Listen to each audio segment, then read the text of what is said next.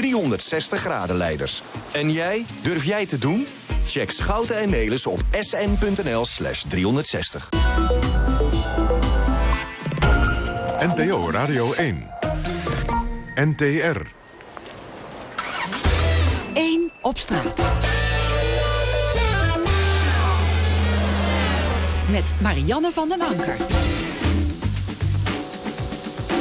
Welkom bij 1 op straat met het rauwe nieuws ongecensureerd en altijd met de betrokkenen zelf. Vandaag vanuit Breda. Een stad waar het niet eens zo heel erg onweert. Het is hier een beetje grijs. We hebben een paar bliksemschichten achter de rug. Maar het is niet zo heftig als in andere delen van het land. Wat in Breda wel speelt is dat het een stad is met 4500 bijstandsgerechtigden... die tot 2019 in ieder geval als stad 19 miljoen of 13 miljoen moet bezuinigen op de bijstandsuitkeringen. Gaat dat met harde dwingende hand gebeuren zoals in bijstandskoploper stad Rotterdam... of worden de werkzoekenden minder gecontroleerd, minder gestraft en meer met zachte hand juist gestimuleerd. Het gaat dus over de vrijheid die mensen hebben in Nederland in de bijstand. In onze bus Sietse Wierda, u bent voormalig ondernemer, thans werkloos... En u bent bezig met het opzetten van een nieuw bedrijf. Dat doet u met behoud van uitkering en zonder een sollicitatieplicht. Klopt. Uw bedrijf is failliet gegaan. Heftig. Ook dat, ja klopt. Hoezo? Wat is er gebeurd? Oh, dat had uh, meerdere, meerdere oorzaken. Um, vechtscheiding was daar toch ook wel een belangrijke in. In ieder geval alles bij elkaar was het voorbij. En wat deed uw bedrijf? Ik had toen een praktijk in Chinese geneeskunde... waarbij ik ook heel veel mensen begeleide. Juist omdat het niet alleen fysieke klachten zijn... maar juist ook heel veel anders. Ik ben dat steeds verder gaan verdiepen. En inmiddels heb ik een bedrijf om mannen te coachen... om werkelijk in hun kracht te staan. Uh, omdat ik geloof dat mannen moeten mannen coachen. En dat mannen moeten mannen coachen, uw nieuwe onderneming... die hebt u kunnen opzetten in de Vrije Uitloop. Dat is een coöperatie hier in, uh, in Breda. Klopt. En de gemeente heeft daar ruimte voor geboden... dat iedereen die daar een eigen onderneming probeert op te zetten... dat mag doen met behoud van uitkering zonder sollicitatieplicht. Klopt. Is dat wat u betreft ook de formule om mensen zoals u weer aan het werk te krijgen? Voor mensen zoals mij is dat absoluut de formule, ja. Wat, wat, wat er gebeurt is dat op het moment dat je ondernemer bent... en je kunt je hoofd niet boven water krijgen... zou het ideaal zijn als je gelijk kunt instromen in een coöperatie zoals deze. Wat eigenlijk gebeurt is dat de coöperatie... daar gaat alle factuurstromen en de geldstromen langs... en op die manier kun je dus bijstand krijgen. Um, voor mij is het ideaal om op deze manier ook weer omzet te gaan krijgen... want anders zou ik dat gewoon niet krijgen. Zou het me niet lukken. En... Um, Eigenlijk bent u dus hartstikke blij. En u hebt ook een contract afgesloten met de sociale dienst hier in Breda. Wat staat er precies in dat contract? Het contract heeft uh, een recht en een plicht. Het, uh, het recht is dat ik geen sollicitatieplicht heb. ja, ja dus u hoeft eigenlijk gewoon niks te doen voor uw uitkering. Maar nou ja, de plicht is? De plicht is dat ik uh, doelstellingen heb geformuleerd... die heb besproken met de klantmanager. En die doelstellingen die zijn? Uh, in dit geval dat ik uh, per september echt begin met serieus omzet maken. Dat is september van dit jaar, 2015. Ja, dus over en een paar maanden. Wat hebt u afgesproken over wanneer u uit de uitkering gaat? Daar zijn nog geen afspraken over. De afspraken die zijn telkens voor een jaar geldig. Of zoveel eerder als dat nodig is om weer te evalueren. Oké, okay, maar stel nou dat het u niet lukt om die onderneming op te starten... dan hebt u toch ten opzichte van andere werklozen in Breda een voordeel. Want u hebt gewoon lekker mogen ondernemen en het mislukt. En ja, goed, oké, okay, jammer dan. Het uh, voordeel is relatief, want ik ben net als al die andere bijstandsrechten... gewoon in de bijstand en heb moeite om rond te komen. Ja, maar u hoeft niet, net als al die anderen, te solliciteren... en actief beschikbaar te zijn voor de arbeidsmarkt. Dat klopt. En u krijgt de ruimte om dat te doen. Stel nou dat het niet lukt, want u belooft eigenlijk als het ware... van nou ja, geef mij deze ruimte dan zorg ik voor u dat ik straks niet meer afhankelijk ben van die bijstand. Maar dat straks, is dat één jaar of twee jaar? Nee, zegt Erna. Nee, Erna Smekens, u bent ook initiatiefnemer van de coöperatie, de grondlegger hiervan. Ja. Uh, het heet de vrije uitloop. U zegt nee, nee, nee, nee, het klopt niet, mevrouw nee. van Anker. Vertel. Nee, Hoe zit het dan wel? Wij hebben in Breda heel erg gestreden en, en gewerkt aan de mogelijkheid om parttime te mogen ondernemen. Met echt als insteek dat als iemand door welke omstandigheden dan ook het niet voor elkaar krijgt om volledig uit te stromen, in ieder geval een deel van zijn uitkering te betalen. Uh, omdat dat ik ervan overtuigd ben dat we in Nederland heel erg veel winst laten liggen... door mensen die kunnen ondernemen, maar wellicht niet fulltime kunnen ondernemen... wel de, de ook het respect te geven en de mogelijkheid te geven om een steentje bij te dragen door Maar een deel van hun Geef dus een voorbeeld van. Dus iemand zegt, eh, ik ga taarten bakken of zo. Ja, en die kan En bijvoorbeeld ik- 500 of 700 euro wel verdienen. En dan red je het niet in Nederland. Dus dan heb je eigenlijk recht op bijstand. Tot nu toe was het in, in, is het in Nederland zo en was het in Breda zo. Als je het niet redt met je bedrijf, klop je aan bij de bijstand. En dan moet je je bedrijf uitschrijven, moet je stoppen met al je activiteiten. Ja, want dan begint die hele En voorwaardenmachine dan begint het hele circus bij een sociale dienst waar je moet gaan solliciteren. Eh, terwijl wij roepen van laat nou mensen die al die bezig zijn of die onder, kunnen ondernemen. Geef die mensen een kans om te ondernemen en een deel van hun uitkering zelf te verdienen. Maar dat niet- is win-win-win. Maar niet iedereen is toch geschikt om ondernemer nee, te zijn? nee, niet iedereen is geschikt om ondernemer te zijn. Dus jullie dus selecteren dan aan de poort? Nou, bij ons komen mensen binnen met al een plan of een idee. En er wordt geselecteerd. Mensen vragen van, goh, kan ik bij jullie? Of komen via Atea, dat is bij onze sociale dienst in Breda... eh, komen binnen eh, en dan zijn ze al een soort van geselecteerd. Dus wij vragen ook echt wel ondernemerskwaliteiten. Ja, en mogen mensen aan dan onbeperkt bij jullie blijven? Blijven proberen? Blijven is- er is een minimum. te verdienen? Ja, de- het idee is wel dat als mensen beperking hebben, van welke aard dan ook... dat mensen de kans krijgen om altijd een deel van hun uitkering zelf te verdienen. Altijd. Daar Dus zit geen Je mag grens er aan. eindeloos gebruik van maken. Ja, en doordat mensen enthousiast worden en aanvankelijk binnenkomen... en het idee hebben van, nou, ik, kan allemaal niet zoveel... maar enthousiast worden en mensen zien die, die wel gaan... worden ze zelf ook enthousiast en kunnen ze vaak veel meer dan ze zelf denken. En dan is dat natuurlijk een mooie opvatting, Erna. En tegelijkertijd zijn er ook mensen die misschien niet zulke ondernemende kwaliteiten hebben. En die moeten dus Klopt. wel allemaal solliciteren. Die moeten wel elke maand zich melden bij de sociale dienst. Terwijl je hier dus eindeloos in alle vrijheid gewoon... al verdien je een 100 euro per maand, dan hoef je niet te solliciteren. Is dat niet Nee. een beetje oneerlijk? Ik, ik denk het niet. Ik denk, ik denk niet zozeer in eerlijkheid of oneerlijkheid. Ik denk dat je in onze organisatie je talent en je kwaliteit inzet. Dat mensen een stukje ontlast worden van alle shit en druk die op je schouders ligt als je in een bijstandssituatie zit. Vol kunnen gaan voor hun bedrijf. En daar stellen we wel eisen aan. We zijn geen vrijwilligers. Bedoel, op het moment dat, dat het echt niet gaat en je geen omzet maakt, zeggen wij van oké, dan komt een punt dat we met elkaar gaan En praten. en bij welk zeggen- bedrag ligt dat dan? Eh, om minimaal scharrelondernemer te kunnen zijn... moet je 100 euro per maand omzetten. Oké. Marge hebben. Een marge, bruto marge hebben. Ja. Een bru- bruto zelfs nog. Ja. Dus dat zijn eh, zes taarten. Vier lunches. Ja, één schilderij. En als je van vier tientjes in de week om, rond moet komen... is dat nog best een hoop geld. Oké, maar jullie hebben die ruimte in ieder geval ook politiek hier weten af te dwingen. Nee, dat nee, het nee, kan. nee, nee. Ik hou niet van afdwingen. Dat hebben we, daar hebben we samen voor aan tafel gezeten. En dat is echt een prachtig voorbeeld van hoe participatie en hoe burgerinitiatieven en hoe de participatiemaatschappij werkt. Dit is niet afdwingen, maar dit is een samenwerking van gemeente Breda en wij. Waar ik heel trots op ben in Breda. Om, omdat hier een gemeente zijn nek heeft durven uitsteken en heeft durven zeggen van dit vinden wij keispannend. En we Maar gaan we het doen het wel. En we doen En- het wel. En een van die mensen die daarvoor eh, eh, door u is verleid... en met wie die samenwerking bent aangegaan... is Bob Bergkamp, wethouder hier ter plaatse. Ehm, had u zoiets toen ze zich bij u meldde of u die dossier overnam... wauw, dit Ja. is briljant, dit gaan we doen. Nou, het is de absolute moeite waard om dat te proberen. Omdat eh, hè, er zit ook nog een financiële, financiële filosofie achter.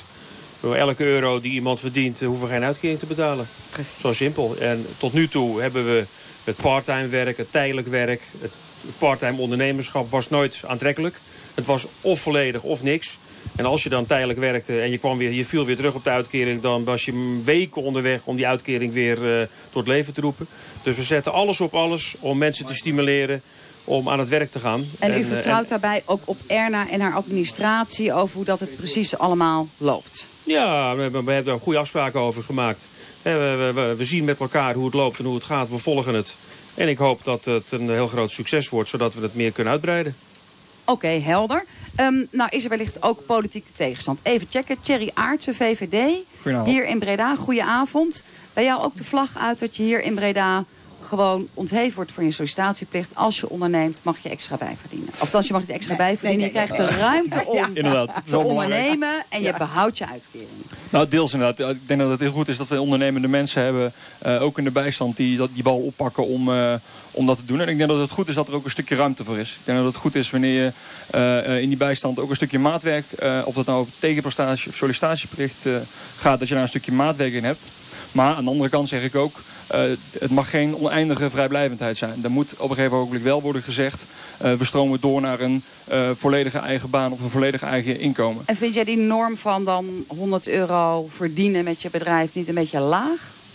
Nou, wat ik veel belangrijker vind is dat je in zo'n jaar afspraak, afspraken maakt over wanneer je dan ook daadwerkelijk echt op eigen benen kan staan. de bijstand is gewoon het allerlaatste vang, vangnet in ons systeem.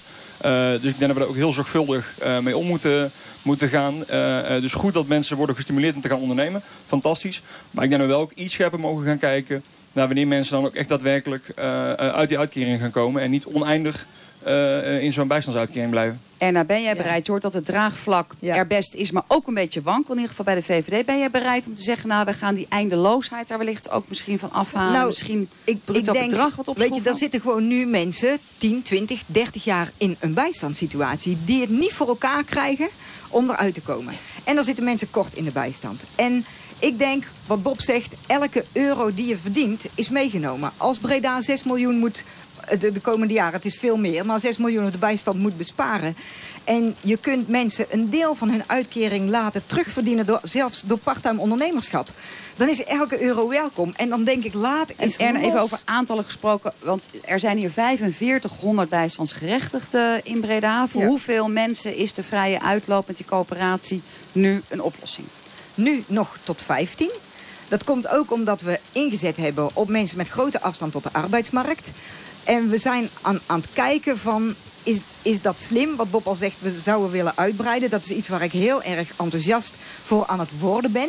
Dat, ik denk Van dat jij, jij, jij, bruist van de passie voor dit plan. Dus jij zegt, ik doe mij van 15 naar 30 naar 100 nog veel meer. Ik zie ook wat Jerry zegt. Weet je, het is belangrijk dat we mensen krijgen die binnenkomen. En weet je, zo'n Sietse die zegt in 2016 wil ik gewoon weer op mijn eigen poten Ben ik onafhankelijk en, heb ik mijn mannen voor mannen coachingsbureau. En dat zijn gewoon mensen... En weet je, in alle realisme, die gaan nooit uit de uitkering komen. Nou. Als die een deel verdienen, waarom ga je dan daar de oneindigheid uithalen? Als die tien jaar lang Helder. een verdienen... Oh. Punt is helemaal clear gemaakt. En in Breda is er dus die ruimte nu gekomen, ook politiek. Ehm, maar elke stad in Nederland, daar hebben wij wel uh, zo langzamerhand beeld van... doet het op zijn eigen manier. Dus er zijn nogal wat verschillende regimes in Nederland die gelden... Um, in Tilburg zijn ze bijvoorbeeld nu bezig om twee jaar sollicitatieplicht uh, uh, ervan af te halen. Er wordt gesproken in andere gemeenten over een basisinkomen. In Rotterdam, dat zeiden we al, dat is de koplopergemeente als het gaat over het aantal bijstandsgerechtigde klanten. Um, daar hebben ze ook een eigen beleid. Ingeborg Hoogveld van Leefbaar Rotterdam, u bent aan de telefoon. Goedenavond. Goedenavond. Um, om hoeveel um, bijstandsgerechtigden gaat het in Rotterdam? Dat gaat om zo'n 38.000 uh, mensen in de bijstand. Dat is bijna een hele stad. Voor, voor de hele stad? Nee, maar het is, ik zeg, het is bijna een hele stad. Er zijn gemeenten in Nederland met inwoneraantallen van 38.000. En bij u staan ze in de bijstandsboeken. Ja, dus dat, dat vinden wij ook echt een serieuze opgave... om dat aantal uh, naar beneden te brengen. En, en is het nou ook zo dat er in Rotterdam bezuinigd moet worden op de bijstand? Uh, ja, uh, kijk, ongetwijfeld komt er ook uh, onze kant een korting uit van het Rijk. Maar eerlijk gezegd maakt mij dat niet eens zo heel veel uit. Want dat is niet de drijfveer uiteindelijk om aan dat, dat grote getal in de bijstand te werken. Het, het, is gewoon gênant natuurlijk als je als een stad als Rotterdam met een wereldhaven in je achtertuin... En ook nog een keer 30 tot 50.000 arbeidsmigranten erbij uh, dat je dan die mensen niet aan het werk kunt krijgen. Nou is hier in Breda de strategie om een coöperatie uh, op te richten... waarbij mensen dus even tijdelijk worden ontheven om te solliciteren. Um, ik neem aan dat Rotterdam met zo'n grote opgave ook heel hard aan het nadenken is... hoe krijgen wij die 38.000 mensen weer aan het werk? En een van de zaken waarmee je in het nieuws bent gekomen als stad Rotterdam... is dat ik gezegd, nou iedereen moet een tegenprestatie leveren... dan maar lekker poetsen met z'n allen. Is dat uh, wat u betreft uh, uh, de oplossing? Ja, we hebben twee verschillende dingen. Het ene is een tegenprestatie. Hè, dus dat doe je als tegenprestatie voor je uitkering. en als, als jij al mooi vrijwilligerswerk doet, prima. Hè, dan kan dat zo blijven. Dan is dat je tegenprestatie. Maar we kennen natuurlijk ook inmiddels de verhalen van mensen die verplicht moeten prikken buiten. En het, het vuil oprapen van de straat. En dat is dan een zogenaamd reïntegratietraject... waarbij uh, de dienstwerk en inkomen er alles aan probeert te doen... om die mensen dus naar werk te leiden. En dan is dat een onderdeel ervan. En is dat naar werk leiden ook daadwerkelijk zicht krijgen op een baan? Want in alle eerlijkheid, u zegt natuurlijk... er is in Rotterdam eigenlijk best wel veel werk. Er komen ook veel arbeidsmigranten naar Rotterdam toe om dat werk te verrichten. Tegelijkertijd weten we dat maar uh, eh, 7% van de mensen die nu in een uitkering zit... jaarlijks een baan krijgt. Want er is gewoon toch onvoldoende werk. Nee, er, is uh, voldoende werk. Uh, die cijfers uh, die hebben we. En de mensen die aan de slag gaan vanuit Oost-Europa, die bewijzen dat ook. Maar er is wel een groot gat tussen datgene wat werkgevers vragen... en dat wat zeg maar, mensen vanuit de bijstand bieden. En dat zit hem niet altijd in opleiding. Dat zit hem ook in arbeidsmoraal. En dat project dat we hebben, Werk Loont uh, werkt ook voor een deel aan uh, die arbeidsmoraal. Of dat weer wennen om aan het werk te gaan. Om in het arbeidsritme te komen. Om uh, iemand boven je te hebben als baas. Mensen die lang niet meer hebben gewerkt zijn dat niet gewend. Uh, op tijd komen is ook zoiets. En werkgevers die merken dat. En die zeggen, ja, het was leuk en aardig, maar jou hoef ik niet meer. En ze hebben het één dag geprobeerd en ze kunnen weer naar huis. Dus dat is ook een uh, afstand tot de arbeidsmarkt waar we het over hebben. Nu was er vanuit uh, de ombudsman Rotterdam ook veel kritiek op die, met name de activiteit van het prikken en het opruimen en het vegen als tegenprestatie voor je bijstandsuitkering. Um, dat is toch ook eigenlijk wel zo. Stel dat er academici bij zitten. Die gaan toch niet door dat prikken en, en, en vegen weer snel uh, aan een nieuwe baan komen? Ja, ik verzet me sowieso enorm tegen het uh, waarmee er wordt gesproken over vernederend werk. Hè, want dat wordt echt gezegd door mensen. En uh, ik denk dan, jeetje, dat had je gewoon twee maanden geleden... toen je dat prikken zelf nog niet deed... had je dat uh, nooit vernederend werk uh, genoemd... wat je buurman deed bij de Roodweb. En nu moet je het zelf doen en dan noem je dat opeens wel vernederend werk. Dus dat vind ik nogal ver gaan. Uh, het is allemaal tijdelijk en het is onderdeel van een traject. Die mensen krijgen ook een sollicitatiecursus aangeboden. Die krijgen ook hulp bij het zoeken naar werk. En ze werken ook een aantal uh, weken, uh, doen ze dit. Nou, is dat nou zo erg? We gaan het hier even in de bus voorleggen, mevrouw Hoogveld van Leefbaar Rotterdam uit Rotterdam. Ernest Meekers, uh, het is toch ook niet zo heel erg om gewoon een tegenprestatie te leveren? Doe je ook maatschappelijk iets nuttigs? De stad wordt er schoner van. Je doet werkervaring op, het is goed voor je mentaliteit dan dat je eigenlijk maar 100 euro hoeft om te zetten... om in uw vrije uitloop toch recht te houden op die bijstandsuitkering. je zegt het echt heel leuk.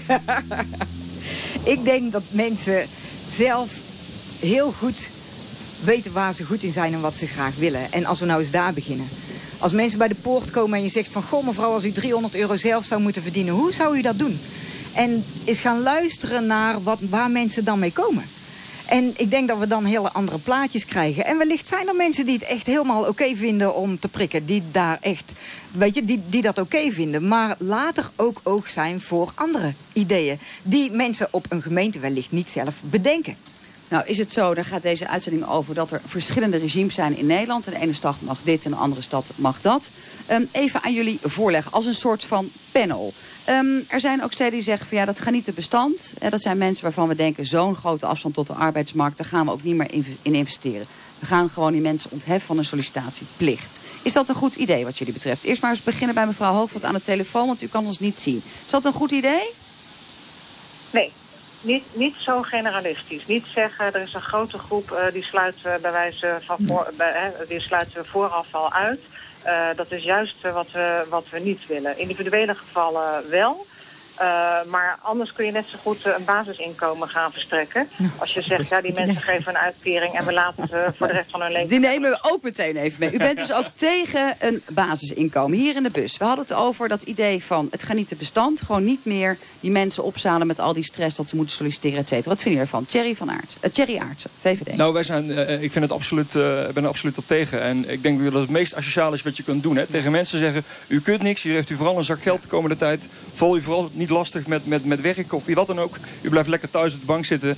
Uh, en u hoeft geen bijdrage te leveren aan de, uh, aan de samenleving. Volgens mij is een baan meer dan alleen maar uh, een inkomen. Een baan is ook een stukje trots, een stukje eigenwaarde. Dus ik vind het juist, en ik weiger ook te accepteren... dat wij dus mensen daar laten zitten. Wij moeten dus volgens mij als Zegt gemeente... Thierry Aarts van de VVD. De politiek. Ber Bob Bergkamp. En het een... Meer dwang. Nee, nee, en het een en het ander. Uh, mensen laten solliciteren waarvan je vaststelt dat er nog zoveel belemmeringen zijn dat dat geen zin heeft, is zinloos. En voor de kandidaat en voor de werkgever die loopt te klagen dat hij brieven krijgt waar hij niks mee kan. Maar wel mensen uitdagen om iets te doen. Maar dus bent u ook voor dat is... gaan niet te bestand? Om te zeggen, nee, kappen we nou eens mee om die nee, mensen... Het zijn twee, nee, het zijn twee verschillende dingen. De sollicitatieplicht en niks voor mensen doen zijn twee verschillende dingen. Iedereen kan iets, iedereen doet iets. Alleen, als je nog niet klaar bent om echt aan het werk te gaan... stop dat stukje sollicitatieverplichting, haal dat eruit. Maar zeg wel tegen mensen dat je aansluit op hun talenten zegt... we verwachten wel dat je wat doet. Niet generiek. Dus basisinkomen, bent u daarvoor, nee, meneer ben ik, Bergkamp? ben ik in zijn algemeenheid niet voor. Maar voor bepaalde groepen is dat best bespreekbaar. Bijvoorbeeld startende ondernemers. Hè, dat systeem maar u staat van... wel voor, natuurlijk voor die bezuinigingsopgave. En dat is 13 miljoen in uw stad. Hoe gaat u dat dan voor elkaar krijgen? Werk, werk en werk. Ik ben ook wethouder economische zaken, is er wel. Er is heel veel werk. Er is ook heel veel tijdelijk werk. De arbeidsmarkt trekt aan. Dus maak het aantrekkelijk dat mensen elk uurtje dat ze kunnen werken, gaan werken. Het aantal bijstandsgerechtigden is afgelopen jaar gegroeid. Wat denken jullie? Heel kort, gaat dat stijgen de komende jaren of niet? Erna? Ja, denk gaat wel. stijgen. Ja, gaat stijgen. Bergkamp? Nee, het gaat teruglopen. Mevrouw Hoogveld? Wij moeten er 12.000 per jaar uh, aan het werk krijgen. En uh, ik ben ervan overtuigd dat dat gaat lukken. Nou, dat zijn allemaal optimistische en minder optimistische berichten. Het begint hier weer zachtjes aan te druppelen van de regen. Um, wat wij weten is dat er gevoetbald gaat worden. En wel nu, het is een oefeninterland. Hij vindt plaats in de Arena in Amsterdam. Het is Nederland tegen de Verenigde Staten. Het is de vijfde keer dat wij te spelen tegen de Verenigde Staten. En de eerste vier keer zijn door Nederland gewonnen. Dus dat, ja, dat is eigenlijk appeltje eitje. Maar ja, daar hebben wij helemaal geen verstand van bij 1 op straat. Wij zijn er ook gewoon lekker maandag weer. We gaan snel naar Ronald Boot, want die heeft er namelijk wel verstand van.